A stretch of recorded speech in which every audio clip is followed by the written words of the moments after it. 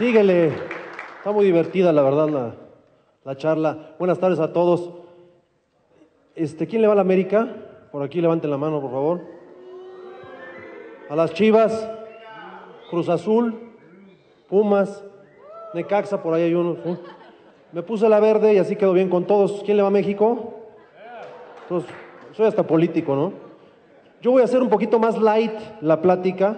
Creo que Arturo eh, pues, eh, hizo una gran exposición y quiero empezar hablando precisamente de autoridad. Para eso estamos aquí. Ustedes ejercen ese concepto. Y hay una entrevista de Manuela Puente que se le hizo en 1998, previo al Mundial de Francia, donde tuve la, la enorme satisfacción de participar, y que quiero que escuchen con mucha atención, porque muchas veces estamos buscando afuera lo que tenemos adentro.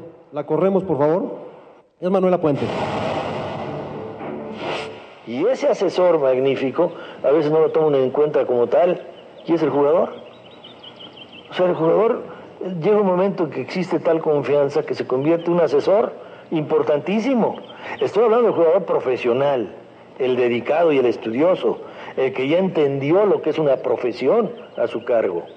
Ese jugador profesional puede ser un excelente asesor. Eh, ¿Por qué? Porque es el que juega.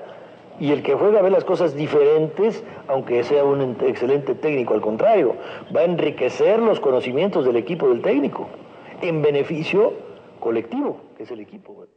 No busquemos fuera lo que tenemos dentro. La gente que ustedes manejan son los mejores asesores de ustedes.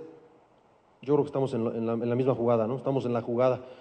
Voy a complementar un poco con otros conceptos importantísimos que no manejó Arturo y que voy a manejar yo, y lo voy a hacer con anécdotas. Motivación, mentalidad, perseverancia, adversidad, confianza, superación, adaptación, sacrificio, imaginación, pasión y liderazgo, trabajo en equipo y éxito. Qué padre se oye, ¿no? Conceptos muy bonitos. Un día, mi hija, que en ese entonces tenía seis años, invitó a una amiguita a la casa a comer, de seis años. Estaban comiendo con mi esposa, terminaron de comer y le dijo, enséñale la casa a tu amiguita. Este es el jardín, la cocina, la sala, el comedor. Subieron, esta es la recámara de mi hermano, esta es mi recámara, mis muñecas, y esta es la recámara de mi mamá. Y mi esposa le dijo, ¿y de tu papá? dice, no, mi papá duerme en el hotel. Fíjate qué, qué, qué grueso, ¿eh? Mi papá duerme en el hotel. O sea, yo les quiero platicar que en una carrera afortunadamente de 15 años que tuve como futbolista profesional, no fui a la boda de mi hermana, que está casada con Beto Garciaspe, no fui a la boda de mi hermano, no fui a mi graduación de mi carrera de contador público en la Universidad La Salle, estaba yo en Irapuato, y el colmo de colmos, no fui al bautizo de mi hija. Mi hermano me dio el calendario y me dijo, tú dime cuándo me caso. Y le dije, a ver, espérame, voy a sacar el calendario de fútbol. El 3 de abril, ese día yo juego en viernes y el partido es el sábado, no hay problema. Y es, una semana antes cambiaron el calendario y estaba yo jugando, no pude asistir a la boda. Bueno, el colmo, tuve que mandar a mi luna de miel a un ayudante porque yo no pude asistir. Son anécdotas que se presentan, ¿no? Eh, hablando de Manuela Puente, hablando del Tuca Ferretti, tuve 15 técnicos en mi carrera y de todos vas aprendiendo, de todos tus jefes vas aprendiendo algo, tú vas captando, porque entrenadores somos todos, todos decimos cómo meten a este y cómo no meten a otro, todos somos entrenadores en México, somos más de 100 millones de entrenadores. Quiero decirles que después del Mundial llegué al Guadalajara, pasé del América directo al Guadalajara, o sea, algo raro, pero así se dio. Y llegué, después de anotar dos goles en el Mundial de Francia 98, pues muy agrandado. Y llego al Guadalajara y me encuentro con el Tuca Ferretti y en un tiro de esquina me dice, no, no, no, muévete así. Y le dije, estás loco, maestro, yo soy rematador de cabeza, no vas a enseñar. Bueno, créanme que pocos entrenadores me dejaron tanto como el Tuca Ferretti. Un técnico que enseña. Ustedes a lo mejor dan por hecho que su gente ya sabe todo. Hay que enseñar, siempre es, un constante aprendizaje la vida. Eso hablando de sacrificio, hablando de, de, de, de, perseverancia, pero les puedo hablar, por ejemplo, de lo que sucedió en el 93. Arturo Bricio, tú también estuviste en esa eliminatoria mundialista, hablando de adversidad. Fuimos a jugar, bueno, recientemente ustedes vieron el México-Guatemala, hace una semana que perdió México, ¿no? Cómo nos juegan a patadas, a golpes, Nos quieren ganar a como de lugar porque ellos se juegan mucho contra nosotros. Y parece que a veces nosotros no entendemos eso. Quiero decirles que fuimos a Honduras en el 93 para la eliminatoria rumbo a, a Estados Unidos 94. Hubo seis muertos, aficionados muertos en el estadio. Previo al, eh, un día antes del, partido, fuimos a entrenar y estábamos en la cancha entrenando y nos prendieron los reguiletes de agua. Nos tuvimos que salir. En la televisión asusaban a la gente para que asistiera y, y, no permitiera el, el, buen fútbol, el desarrollo, porque era una selección importante, la de Honduras que estaba buscando la clasificación. Eh, acabó el partido, ganamos 4-1 con toda la adversidad. Entramos al vestidor, rompieron las ventanas del vestidor y echaron gas lacrimógeno cuando nos estábamos bañando. Tuvimos que salir algunos en calzones, algunos en toalla a la cancha por el gas lacrimógeno. Nos acercamos a unos policías que estaban en el terreno de juego y en vez de ayudarnos nos pegaban con las macanas. O sea, fue una situación de adversidad terrible a la cual nos supimos sobreponer y salir adelante y ganamos 4-1 y conseguimos el pase al Mundial. Esa es una situación de adversidad y de perseverancia de motivación, les puedo contar muchas, ¿no? Eh, previo al, al, Mundial de Francia 98, yo creo que siempre hay que visualizar lo que uno espera y lo, con lo que uno sueña. El soñar no está prohibido, hay que soñar. Me tocó estar con Isaac Terrazas en la habitación, sabiendo que no íbamos a iniciar el partido contra Corea. Ustedes recordarán aquel partido frente a Corea. Y yo le decía, imagínate tener la posibilidad de entrar al terreno de juego y marcar un gol en un mundial, porque quiero decirles que por tramposos no pudimos asistir al, al, Mundial de Italia 90, a Italia. En el 94 quedé fuera de la última lista con Miguel Mejía Barón y llevaron al cadáver Valdés y mi sueño era jugar un mundial. Yo tenía 31 años en ese entonces y dije, no voy a jugar un mundial, no voy a poder cumplir mi sueño. Sin embargo, seguí soñando, seguí este, pues, eh, con una gran determinación en mi trabajo y cambian de técnico y entra Manuel Puente y era mi técnico y me lleva al Mundial de Francia 98 con 35 años. Entonces yo soñaba con llegar al Mundial y ya que lo había conseguido, ahora quiero meter un gol en el Mundial. Yo le comentaba a Isaac, imagínate la posibilidad de meter un gol en un Mundial. Soñé tanto, me mentalicé tanto que la primera pelota que toqué en el segundo tiempo, una vez que ingresé a la cancha, fue gol en un tiro de esquina. Entonces yo creo que muchas veces hay que imaginarse las cosas, hay que visualizarlas y yo estoy seguro que se pueden eh, eh, cumplir eh, totalmente, ¿no? Hablando de confianza, llegando a Francia 98, el grupo en el que estábamos era integrado por Holanda, Corea, Bélgica y México, ustedes lo recordarán.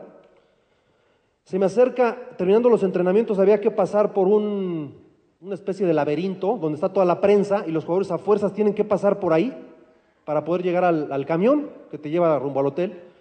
Y un eh, periodista holandés, con traductor lógicamente, me pidió una entrevista.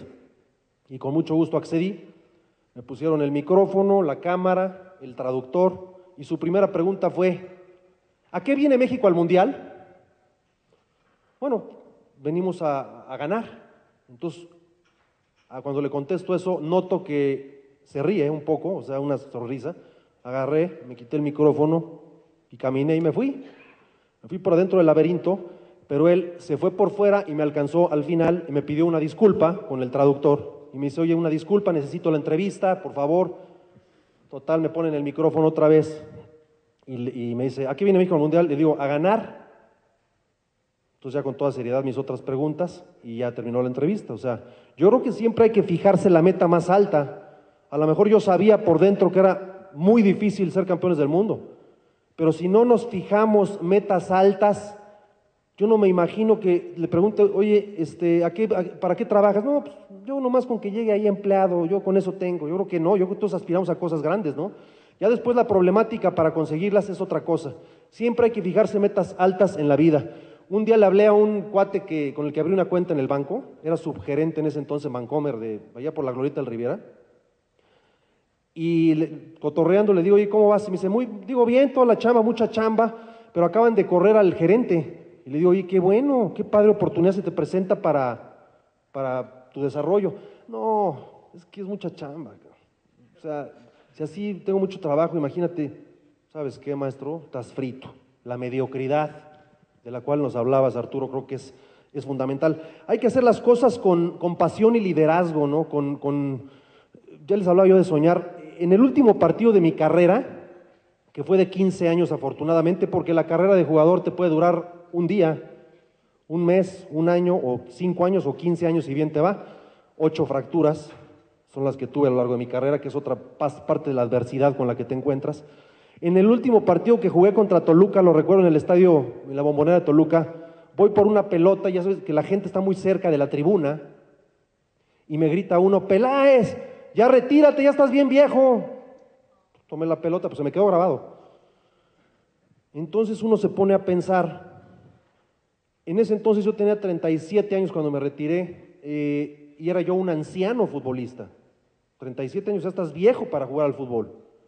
¿Y qué pasó? Que me retiro y paso a Televisa Deportes, me invitaron a participar en Televisa Deportes como comentarista y pasé de ser un anciano a un joven comentarista.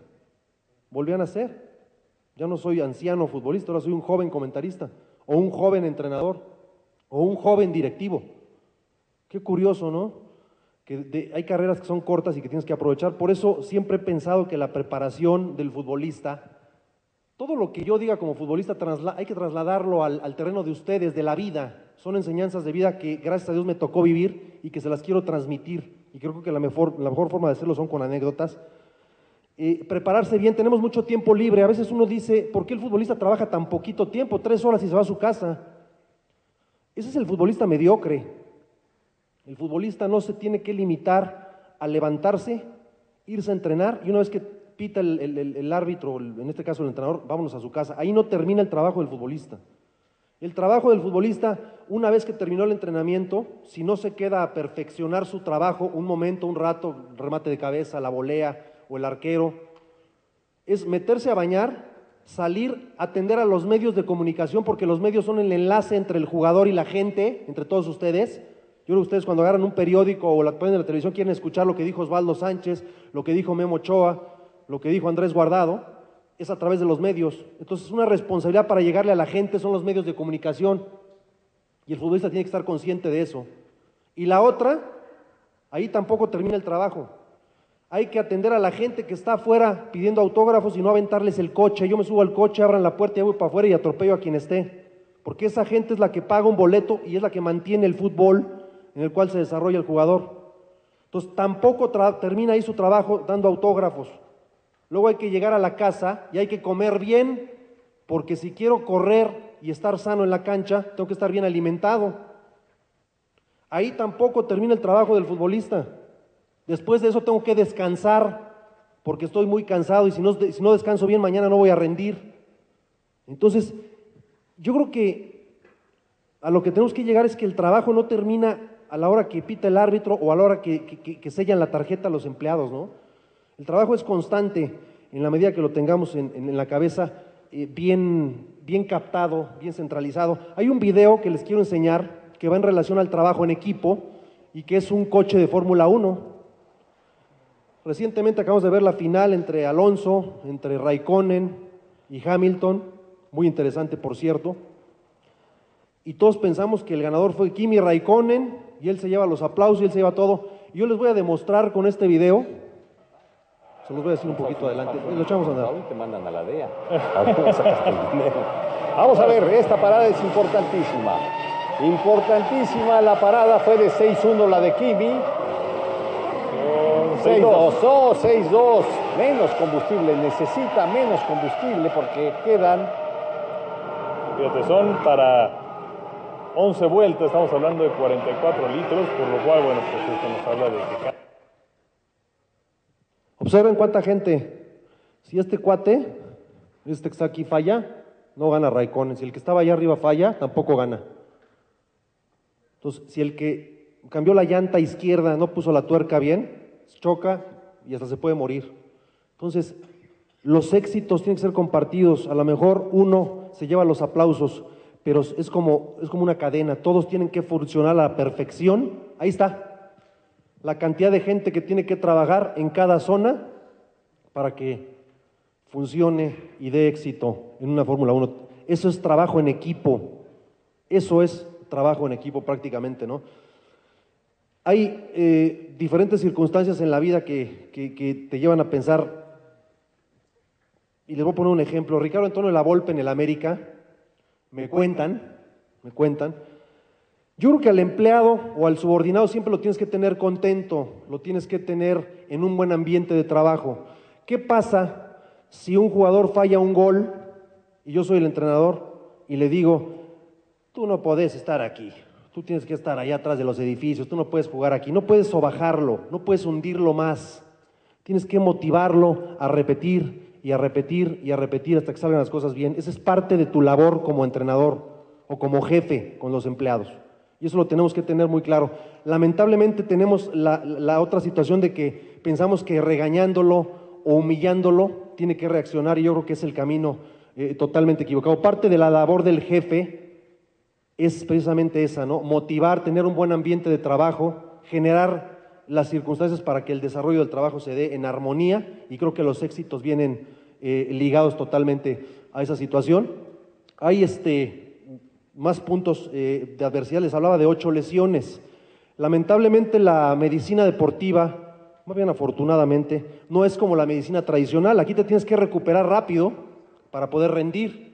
Yo creo que en el trabajo también. O sea, si un, lamentablemente hay un accidente de trabajo, ¿no? Los empleados o sucede una situación, hay que eh, cubrirla lo más pronto posible para eh, entregar buenas cuentas a, la empresa. Ocho lesiones, ocho fracturas, de las cuales te cuesta siempre levantarte. Si me ven caminar así medio rarito, es que quedé medio mal de la rodilla, por eso me retiré. Pero son eh, circunstancias que te fortalecen. Yo creo que siempre he pensado que los tropiezos te motivan siempre a hacer las cosas mucho mejor, a mejorar en todos aspectos y te levantas más fortalecido de las circunstancias que se te presentan. ¿no? Entonces, no es fácil, son accidentes de trabajo de los cuales los futbolistas tienen que estar acostumbrados a levantarse y a levantarse bien, con ánimo y salir adelante, ¿no? Hablando, hablando de, trabajo en equipo, eh, muchas veces se da que encaminamos el éxito personal en lo colectivo. Perdimos el partido, pero yo metí gol. Me voy contento a mi casa. Yo soy el centro delantero, yo metí gol y perdimos 4-1. Yo creo que no. Yo creo que al contrario, ¿no? El éxito debemos encaminarlo siempre a la, empresa, al equipo de fútbol y no, llevar un éxito individual a lo colectivo, porque eso no te lleva a nada. Perdimos, pero metí gol, me parece una frase eh, que es muy común en nuestros eh, jugadores, lamentablemente, pero que eh, pues no debe existir o no debe darse. ¿no? Los éxitos deben ser compartidos y, y respetar siempre la línea de mando, que es fundamental. ¿Qué es el éxito? Esto es muy importante. ¿Te consideras una persona exitosa? Yo creo que yo soy una persona exitosísima, pero no por la fama, no por haber eh, ganado dinero en el fútbol. Yo creo que el éxito está más que nada en poder hacer lo que tú quieres hacer, en poderte desarrollar en el terreno que te gusta, en poder contar este tipo de, de vivencias a todos ustedes en este momento. El tener una familia, el tener dos hijos, en mi caso, sanos, gracias a Dios, una familia formada, el ser gente de valores, todo eso te hace ser exitoso, no el dinero ni la fama, eso es pasajero. Entonces eso es fundamental. Y todo eso, afortunadamente, se lo podemos trasladar a la chamba, porque como decíamos, el trabajo no termina solamente cuando termina el horario de trabajo, ¿no? Entonces yo creo que el éxito es, fundamental. Hay frases por ahí en el, en el menú que quisiera también compartir con todos ustedes. Y aquí tengo una clarísima que me platicó una gente que se dedica a esto precisamente a dar pláticas. Dice, cuando pierdes, no te fijes en lo que has perdido, sino en lo que te falta por ganar. Yo creo que son frases hechas, frases que conocemos todos, pero que finalmente nos envían un mensaje, nos dan un mensaje de fuerte, ¿no? Un mensaje que, te deja una gran enseñanza. Hay un, cúmulo de frases ahí, si podemos verlas. Y hay otra que es de risa y que con esta quisiera empezar la sesión de, de interacción con Arturo Bricio, ¿no? que dice lo siguiente, el fútbol es un deporte en el que juegan 22, trasládelo por favor a la empresa, ¿no? a, su situación laboral. El fútbol es un deporte en el que juegan 22 jugadores y al final siempre gana Brasil. Ojalá pudiéramos ser Brasil nosotros, ¿no? Soñemos con ser Brasil, hablando de fútbol. Finalmente siempre gana Brasil, por más que luchemos. Eh, esta es una parte de una película, ¿no? Hay otra, otra de unas frases, no sé si aparece por ahí. Quiero interactuar un poco con Arturo de vivencias eh, que nos tocó compartir, por ejemplo, en la final de Necaxa Santos, donde él fue el árbitro y donde nosotros perdimos con un gol en fuera de lugar de Jared Borghetti. No sé si se recuerden por ahí algunos necaxistas. Era el tercer título de Necaxa. Nosotros habíamos sido campeones contra Cruz Azul 94-95, contra Celaya 95-96 y era el tercer título de ese Necaxa exitoso de los noventas. Y mi buen Arturo fue el árbitro y nos ganaron con un gol en fuera de lugar de Jared Borghetti. ¿Qué nos puedes decir hablando de autoridad, mi querido Arturo? nada más cabe aclarar que cuando se coronaron con el Cruz Azul y contra el Celaya, también era yo el árbitro, ¿eh? Porque los jugadores y la, gente en general, no, viene, viene muy, muy encaminado por lo siguiente. La gente se acuerda de lo malo, ¿no? Ellos no fueron campeones contra Cruz Azul ni contra Celaya por el árbitro. Fueron campeones porque Necaxa en ese momento era el mejor equipo de México. Pero cuando pierden un partido o una circunstancia donde está involucrada la autoridad, inmediatamente la gente piensa, pues cuánto le dieron, ¿no? Porque desgraciadamente nuestra idiosincrasia estamos acostumbrados a un binomio perverso que es autoridad más corrupción. Y yo me niego a pensarlo. Y no me niego a pensarlo porque les venga yo a decir que soy honrado. No, no, no, me interesa ni siquiera comentarlo porque alabanza en boca propia es vituperio, ¿no? Nadie te va a decir, soy ratero, fíjate, ¿cómo te va? Bien, soy muy ratero, ¿cómo ves? Pues no te lo va a decir, obviamente, ¿no? Bueno, hay un caso que sí, fíjate, déjame contártelo rapidito. Mi padre, abogado también, una época fue agente del Ministerio Público aquí en México. Tú lo, lo, conociste ahí en Iguala. Y entonces resulta que se viene, se desata una, una ceses masivos de, agentes del Ministerio Público por incapaces, porque no conocían la ley. Entonces nos encontramos a un amigo de él y mi papá le pregunta, ¿sigues trabajando en el Ministerio Público? Y el señor este contesta, no, me corrieron, pero a mí por deshonesto nada más. O sea, él hacía, hacía un alarde de que, de que había una deshonestidad. Pero lo cierto es que efectivamente a veces la autoridad se equivoca. Sin embargo, eso no quiere decir que por eso pierda de alguna manera su investidura de autoridad. Y obviamente que también se vale la molestia del equipo Necaxa porque efectivamente fue un hecho que el, campeonato se definió con un gol en fuera de lugar, ¿no? Sí, eso es un poquito a manera de broma. Este, con todo y todo también hay que decir que eh, reconocimos finalmente la derrota. No puedes echarle la culpa nada más a un detalle o un detalle arbitral y más cuando en un partido de fútbol, eh, pues la autoridad en ese momento era Arturo Viso, que era por mucho el mejor árbitro que había. Hay situaciones, una, que me estoy acordando, Arturo, que me parece que es fundamental y que se presenta en todos los ámbitos de la vida. Dos veces, en mi carrera nada más dos, me atreví a decirle al entrenador, por favor, méteme. Yo creo que el entrenador es el que toma la decisión, respetando la línea de mando. Y me acerqué, una de ellas fue al, Tuca Ferretti con el Guadalajara, estábamos a punto de ser eliminados por el Atlas de Ricardo Antonio Golpe, y uno siente la confianza en uno mismo, uno sabe que puede serle útil al grupo con una idea, con una aportación. Y tuve pues el atrevimiento de decirle, por favor, méteme. Yo venía de una lesión muy seria que finalmente fue la que me dejó fuera, que me retirara de la rodilla derecha. Y eran los últimos minutos y clásico que ya son los puros pelotazos al área, a ver si de desesperación. Y yo pues estaba alto y lo mejor que tenía era un poco rematar de cabeza. Y me dijo, está bien, sigue calentando, ya faltaban cinco minutos. Dije, por favor, méteme. Órale, a ver, vas para adentro. Sacó no sé a quién, tiro libre y remato de cabeza. Hay un desvío de un compañero y termina en gol. Es el único gol que yo no metí y que lo festejé como si lo hubiera metido yo, o sea, y que la gente me lo festejó a mí sin haberlo metido. Yo creo que son circunstancias que tenemos que aprender también en el, en el momento en que algún eh, subordinado de ustedes, algún empleado, les pueda decir en un momento que puede ser útil para algo, ¿no?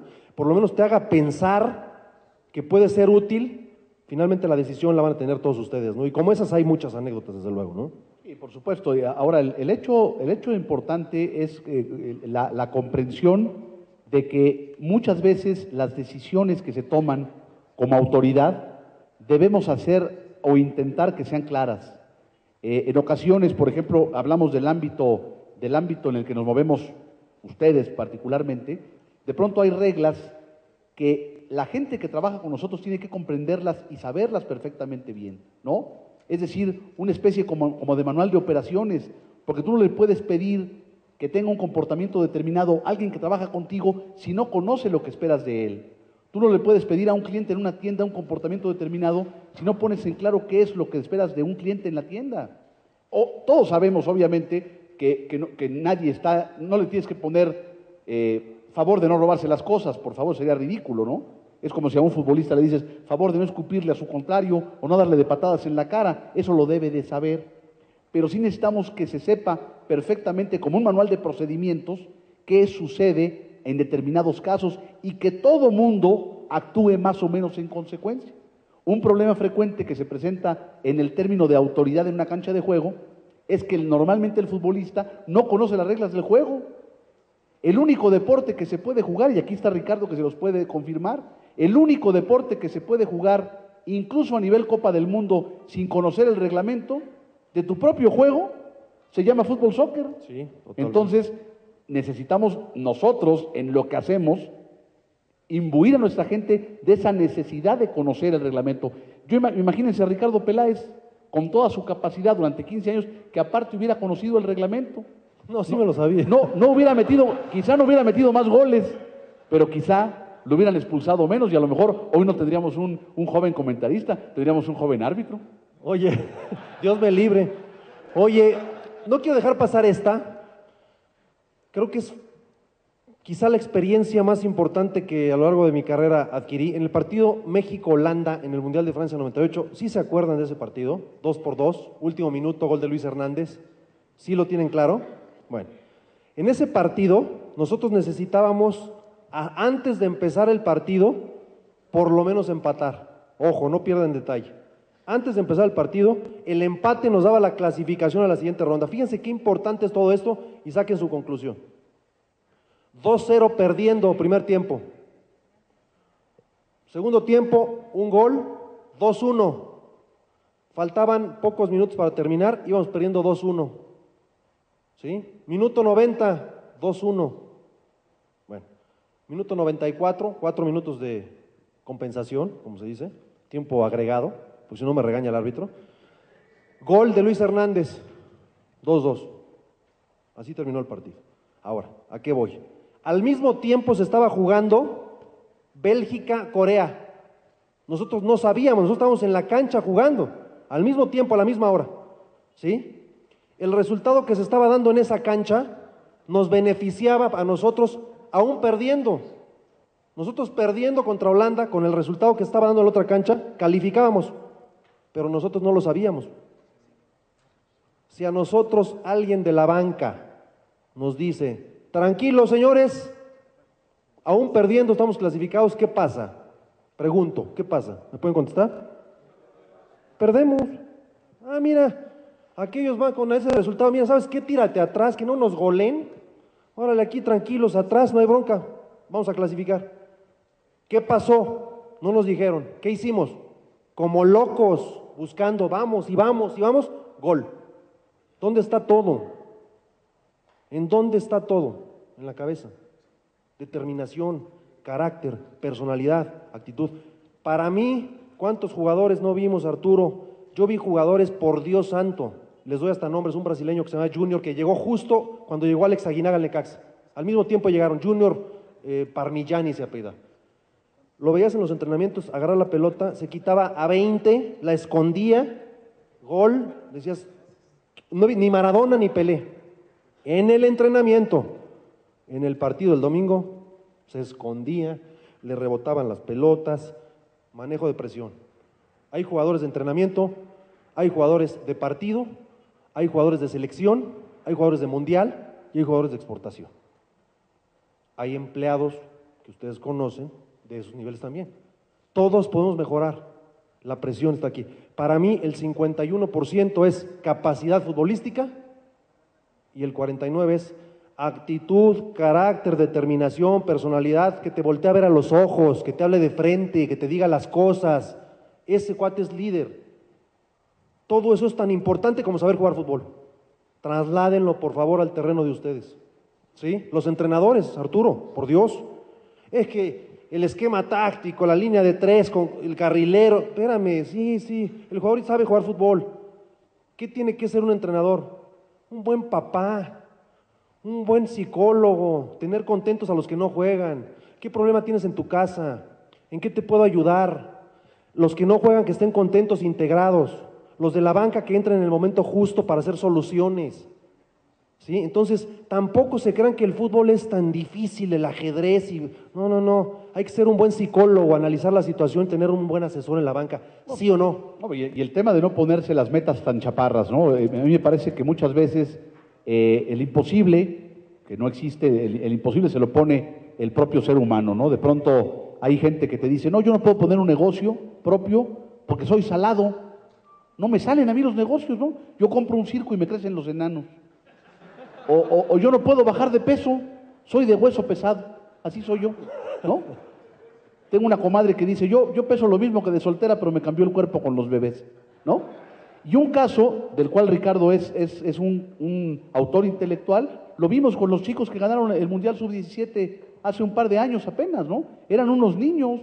Imagínense que hace años nos hubieran dicho, van a jugar una final contra Brasil. No, pues manden mi medalla de plata por DHL. Perdemos por default, ¿no? Pero como nadie les dijo a ellos que era imposible y venían de un trabajo muy interesante con gimnasio, con mentalización, dejando sus familias, trabajando duro, en un proceso inédito en el fútbol mexicano, insisto, del cual no es cebollazo para mi querido amigo Ricardo, él lo encabezó como presidente de la Comisión de Selecciones y le, y le voy a pedir que se los platique. Gracias a eso, estos chavos, una cosa que parecía imposible, ganarle a Brasil, nada más que no iban a jugar contra la historia de Brasil, iban a jugar contra niños como ellos, que les dolían las patadas igual que a ellos, que la noche anterior tenían hoyo en la panza sabiendo que iban a jugar una final y que sabían que si regresaban derrotados a Brasil, les iba a ir como en feria. Y como insisto, nadie les avisó que era imposible, lo consiguieron. porque la, porque el, bloqueo muchas veces está de este lado. ahí, ahí que se hizo diferente, me tocó, aparte de ser jugador y comentarista deportivo, en el 2002 fui invitado a ser director de selecciones nacionales. Lo manejaste tú, yo por eso no lo quise manejar ni contar. Este, ¿Qué se hizo diferente? Es que es que hay que hacer un poquito más que lo que ya se hace siempre, ¿no? Eh, ¿Cómo se forma una selección nacional? Vamos al Necaxa, al América, al Coachuca, al Cruz Azul, a Pumas, agarramos a los jugadores, los preparamos y ahí está la selección nacional. Eso, lo hace todo mundo, todos los entrenadores. ¿Qué hicimos nosotros? Chucho Ramírez, ese es el del mérito. Chucho Ramírez con José Luis Arce y, y dos, tres personas ahí que colaboramos con un granito de arena. Vamos a hacer algo diferente. Algo, ¿Qué hacen todos? Agarrar jugadores de los equipos, órale. A ver, ¿qué podemos hacer más? Sector aficionado, que es para lo único que sirve en la Federación Mexicana de Fútbol, hay un sector aficionado. Ayúdanos a convocar jugadores en todos los rincones de la República, en el llano de Tijuana, en Tabasco, en Nayarit, en Colima, donde no hay fútbol.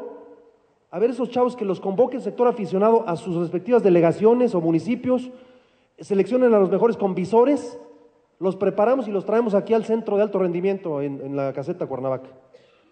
Trajimos como a 60, 70 jugadores es muy caro, costó mucho dinero a la federación, pero para eso que se use la lana y no para que se la claven otros. Este, los trajimos, los preparamos y los enfrentamos a estos otros. Lógicamente estos le pusieron una goleada infernal a estos otros. Los que trajimos como cinco o seis fines de semana, los preparamos y siguen preparando, y de estas, de aquí salieron el 75%, pero de acá el otro 25%. El otro 25% salió de eso que se hizo diferente. Hicimos algo diferente a lo que todo el mundo hizo. Ahí están las consecuencias. El artífice de todo esto fue Chucho Ramírez y su gente. O sea, no, no va a colgar medallas ni mucho menos. Pero tratamos de hacer algo un poquito más allá de lo que todo el mundo hace. Y yo creo que con eso encuentras el éxito. Tenemos que entrar a una sesión de preguntas y respuestas, Arturo, que a nosotros nos enriquece muchísimo porque nos dan tema y nos eh, ayuda muchísimo a seguir contando anécdotas y vivencias que nos tocó vivir dentro del terreno de fútbol y que pueden trasladar a sus terrenos. ¿Hay micrófonos? Sí, ¿verdad? Pueden levantar la mano, pueden solicitar y pueden preguntar lo que quieran de lo que quieran. Por favor, empezamos. Gracias. Gustavo Gómez. Gustavo. Yo tengo dos preguntas para Ricardo y para Arturo. La primera, yo imagino que dentro del equipo, a lo mejor, están en el vestidor, perdiendo, te encontrabas la actitud de un jugador, de algún compañero de, ya no la hicimos, y vamos a perder y ya para qué le entramos. y a lo que venga. En este caso contigo, Ricardo, y contigo, Arturo, eh, del, del, lado de, de, tus asistentes, no digo abanderados porque me regañas, ¿no? Pero tus asistentes, eh, que te digan, saber pues, cómo nos va en este juego, a lo mejor un clásico, ¿no? ¿Cómo nos va? ¿Quién sabe cómo nos vaya a ir? ¿Cómo ustedes afrontaban eso de, de, la negativa? Porque te, te, mancha el equipo, ¿no? O te, te ensucia el, la actitud que tienen los demás. ¿Cómo afrontaba cada uno de ustedes esta, esta actitud que, que podían encontrarse? Parte de la labor del técnico es la motivación. Este, ese tipo de comentarios son muy frecuentes en las concentraciones, ¿no? es muy difícil el partido y parte de la labor del técnico es esa, ¿no? la motivación, una pequeña parte pero muy importante. Yo iría más allá. ¿Qué pasa cuando termina el partido un día en el Estadio Azteca con Necaxa y perdimos con el Potosino, que se estaba yendo a segunda, 1-0? Y llego al vestidor y escucho que dos compañeros están haciendo planes para irse al barbar. Nos vemos allá al rato, este, la lana, las chelas, y tú llevas a, invitas a tal. Levanté la manita, fui con el entrenador, con el directivo, y los acusé, los acusé y los corrí. Yo me fui a mi casa a, a, esconderme, como lo hacía en Guadalajara, en mi última etapa, en Guadalajara. Ganábamos, iba yo a comer al restaurante y no me cobraban la cuenta con mi familia. Y perdíamos y pasaban afuera de mi casa a mentarme la madre con el claxon. Son, es parte de la vida y tienes que adaptarte a todo ese tipo de circunstancias como jugador. Hay que, voy a ser breve para las contestaciones porque si no nos alargamos mucho, ¿no? Gracias, Gustavo, por, tu intervención. Mira, en el caso del arbitraje es más complicado un poquito porque tú no escoges a tus asistentes. En el caso de un equipo de fútbol o a veces eh, trasladado a la, a la, vida diaria, tú puedes formar tu equipo de trabajo, pero a veces no. A veces no, no, no depende de ti el formar el equipo de trabajo. En el arbitraje así es. Entonces, cada partido en la planeación de cada partido te encontrabas con dos asistentes que muchas veces eran gente muy, muy comprometida, muy compenetrada y que querían hacer su trabajo. Pero a veces te encontrabas con cuates que estaban amargados porque no habían sido árbitros. Había cuates que iban de salida, había gente que iba nada más a trabajar por el dinero. Había cuates que te veían para abajo porque tú eras un novato de 24 o 25 años y ellos ya eran hombres de 45 que iban ya para afuera, ¿no? Entonces, ese, ese tenerlos que meter al aro, de tener lo que hacer, eh, en breve tiempo, en hora y media, no, no era fácil, ¿no? Ahora, eh, tampoco siempre daba resultado, no creo que haya una persona en el mundo, el único podría ser el patrón de arriba, que pueda cambiarle a alguien el chip en media hora, en una hora. Lo cierto es que sí había que, que motivarlos y que hacer, hacerles entender que adentro éramos uno solo, que así como la mano tiene cinco dedos y cada uno tiene su función, para poder ser un, una persona capacitada, es decir, no, no ser un discapacitado, lo ocupas como un puño si logramos entender que podemos tener diferencias, de hecho las tenemos, el ejemplo de la mano es muy bueno para lo que hacemos en la vida diaria. Cada dedo es diferente, cada persona es diferente, hasta en una familia. El tema es que al final entendamos que como nos vaya como puño, nos va a seguir yendo como dedo. En la medida que entendamos eso, podemos ser una chamba pues bastante cohesionada, ¿no? Sin que, bueno, pueda por ahí haber siempre gente que no aporte o que no se brinde generosamente, ¿no? Adelante. Este, Arturo, buenas tardes. Este, Ricardo, eh, Jesús Villegas, para servirles. Este, Arturo, una pregunta. Tú como autoridad dentro de la cancha de fútbol, cuando eras árbitro, este, y te, tenías una equivocación, o te equivocabas, o te llegaste a equivocar alguna vez, eh, ¿cuál era tu reacción posterior, sabiendo que tenías, te habías equivocado? Eh, podías decir, eh, en la otra jugada le echo la mano al equipo, eh, no sé, a lo mejor la regué, no sé cuál, esa es una inquietud que tengo hacia un árbitro, o sea, ¿cuál es su respuesta? Sí, gracias Jesús. Mira, obviamente como ser humano, nadie se prepara para fallar, no conozco a nadie que diga, me voy a, a entrenar todos los días, voy a prepararme, voy a dejar a mi familia todo el fin de semana y voy a llegar a fallar en esta acción, es imposible, ¿no? Lo cierto es que la sensación de falla la sensación de error, sobre todo en un deporte tan visto, tan cubierto como es el fútbol, cuando la evidencia televisiva te demuestra que te equivocaste flagrantemente, la sensación es de una gran vergüenza, de una gran pena, de una gran insatisfacción. No te dan ganas ni de comer, ni de salir, ni de nada. Pero tampoco puedes, en base a esa sensación de insatisfacción y de vergüenza, el siguiente partido pretender darle a alguien una cosa que no le quitaste en forma intencional. El error es parte fundamental del juego, el error es parte fundamental de la vida. Yo no conozco todavía un invicto en la vida, yo todavía no conozco a un ser perfecto. Bueno, los argentinos se creen, pero no lo son, ¿no? Pero todavía no encuentro al ser perfecto. Entonces, lo único que tienes que hacer, con una gran humildad, es entender que fallaste primero.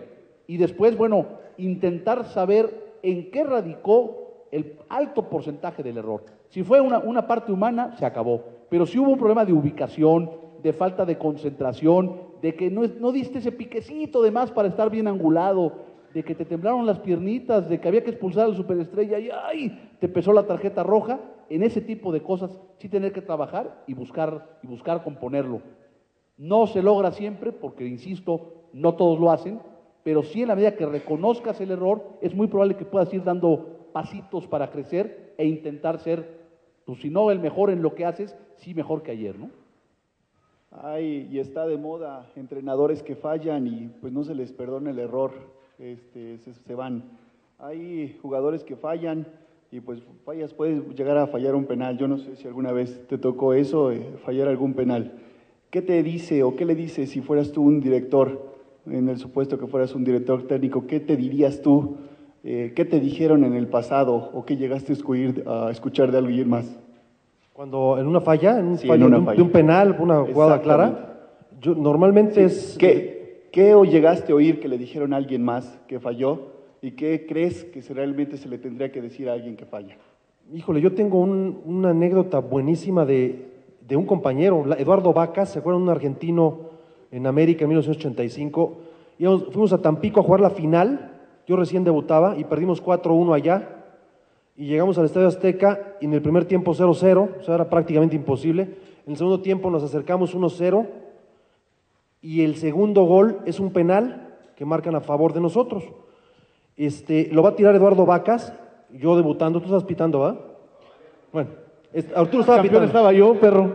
Lo va a tirar Eduardo Vacas, lo tira, lo mete y Arturo lo repite y me amonesta porque me metí al área antes de tiempo.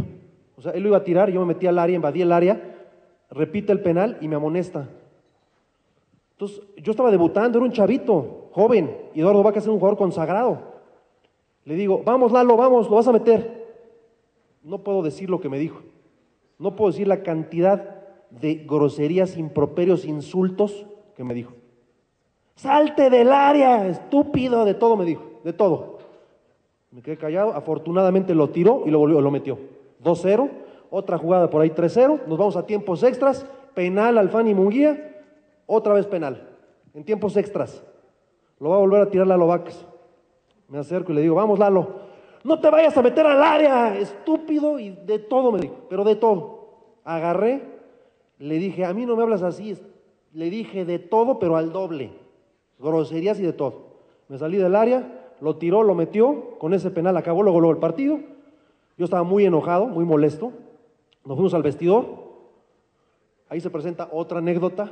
Se acerca un señor que estaba en el vestidor y nos abrazaba y nos jalaba. Y una foto, una foto. Y dije, ya saquen este, por favor, este cuate, qué molesta. Está jalando a todos. Es el presidente del equipo, tarado. El señor Emilio Díaz Barroso en aquel entonces yo no lo conocía. Pero bueno, aparte de eso, se acerca Lalo Vacas y me dice, flaco, flaco, vení. Y le digo, no, ¿sabes qué? A mí no me hablas así, cabrón. A mí no me vas a hablar así. La regué, me metí a hablar, pero a mí no me hablas así. Y si quieres a golpes, como quieras, lo arreglamos, pero a mí no vas a hablar con esa, con, con esa cantidad. de- No, tienes razón, me dijo. Una disculpa, te ofrezco una disculpa, no debía haberte insultado así. Estaba muy caliente, le digo, está bien, pero ante todo respeto. Y eso se me quedó grabado para toda la vida, ¿no? Un entrenador normalmente te anima, no te desanima. El entrenador sabe que es más importante el grupo que él y muchas veces le cuesta el trabajo a él que a los jugadores, ¿no? Entonces, esa sería la contestación que te daría. Adelante, por favor. Es que me alargué un poco, perdón. Gracias, buenas tardes. Raúl Bravo para servirles. Y ustedes están hablando durante un buen rato de la conferencia sobre anécdotas. Y pues siguiendo la misma tesitura, cuando yo era muy niño, eh, no tenía mucha economía para meterme al estadio de fútbol, pero me metí de colado, aprovechando que era niño. Empezaba a ver el partido y había un señor que estaba a un lado de conmigo que le estaba explicando a su hijo las características del partido, lo estaba enseñando y aprovechaba para aprender yo también. Entonces explicaba las labores de cada uno de los jugadores del equipo y el único que hacía las tonterías era el de negro. Entonces ahora mi pregunta para Eduardo, para Arturo, perdón, es cómo si se ve que eres una persona preparada, te pusiste a hacer te- tonterías adentro de la cancha. Y si es cierto que normalmente un árbitro es un jugador de fútbol que no llegó a lograr el objetivo de serlo. Esa es una para ti. Y la otra para Ricardo es, cómo es posible o cómo le hace un jugador de fútbol cuando sabe que en el fútbol que está jugando eh, está siendo seguido por varios jugadores, por, por muchos seguidores que están esperando que meta el gol para sentirme triunfador durante toda la semana porque mi equipo ganó. ¿Cómo le haces para poder manejar el hecho de ese partido contra Holanda que metiste el primer gol, si mal no recuerdo? Contra Holanda también. Contra sí. Holanda y lo diste el cabezazo que sirvió después para que este lo metiera Luis Hernández, si no mal recuerdo.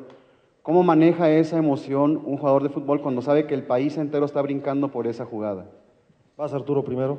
Bueno, mira, gracias Gustavo por tu pregunta. Mira, la verdad, eh, yo no creo que el árbitro sea un futbolista frustrado. Yo creo que es importante eh, haber jugado al fútbol para entender y saber de qué se trata, ¿no? Yo, yo debo decirte que yo me metí al arbitraje de una manera circunstancial, completamente al arbitraje profesional. Sin embargo, yo nací en el ambiente arbitral prácticamente porque mi padre, Arturo Bricio Ponce de León, fue árbitro. Entonces, eh, yo crecí en el ambiente arbitral. Yo aprendí a amar a la profesión del árbitro mucho antes de, de, de tomar un curso. Yo aprendí a manejar, fíjate, en los coches de los árbitros de aquel tiempo. Iban a casa de mi papá, ahí por la colonia Chotepingo, en, acá en el sur, a tomar la copa después del partido. Y de repente yo tenía 14 años. A ver, chamaco, vete por los cigarros. Pues sí, pero ¿en qué voy? ¿Cómo que voy a andar yendo domingo en la tarde? ¿Está todo cerrado? Pues llévate el coche de alguien. Y me iba yo el coche de Yamazaki o de Mario Rubio. Entonces yo aprendí, yo en el Estadio Azteca conocía los vericuetos del estadio para llegar a los vestidores y en lugar de meterme junto con Eduardo, mi hermano, al vestidor del América o del Guadalajara, me metí al vestidor del árbitro. Entonces realmente yo lo único que te puedo decir es que el arbitraje eh, a mí me dio una gran cantidad de satisfacciones. Yo le quedé a deber muchísimo al fútbol. Eh, creo yo que tuve la oportunidad de, arbitrar en los cinco continentes, tuve la oportunidad de dirigir Copa del Mundo, Olimpiadas, Copa América, finales del torneo mexicano.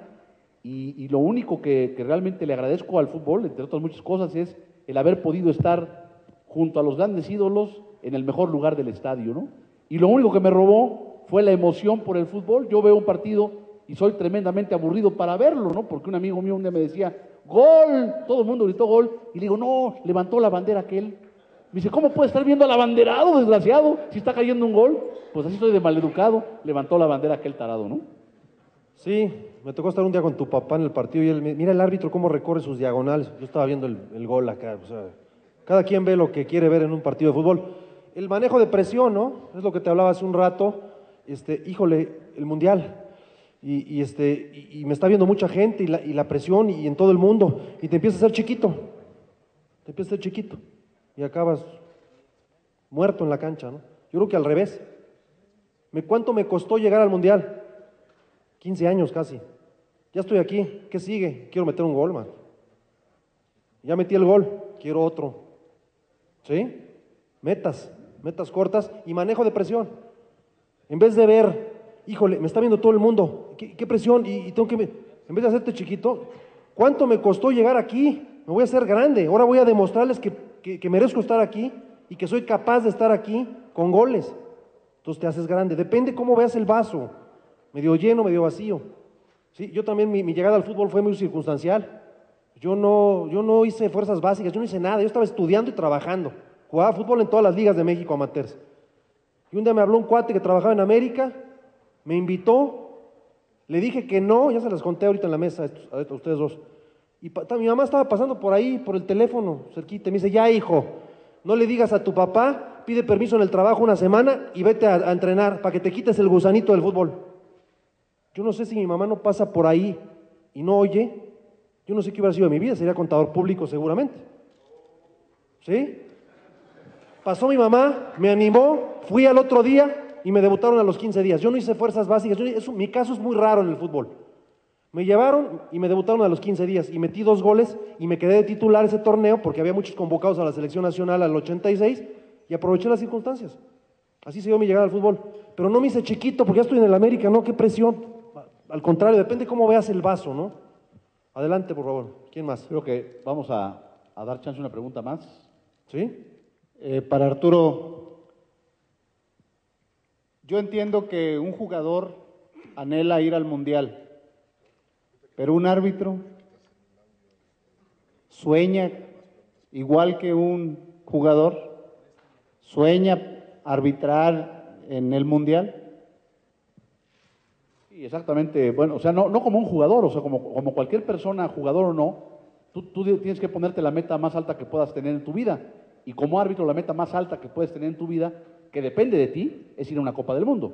Ya arbitrar allá a la final, no, no depende ya de ti. Depende de ti hacer lo necesario para ser un candidato a Copa del Mundo. Y por lógica, bueno, la posibilidad de una Copa del Mundo es una cosa que todo mundo que se inscribe en un curso de arbitraje la tiene que tener aquí.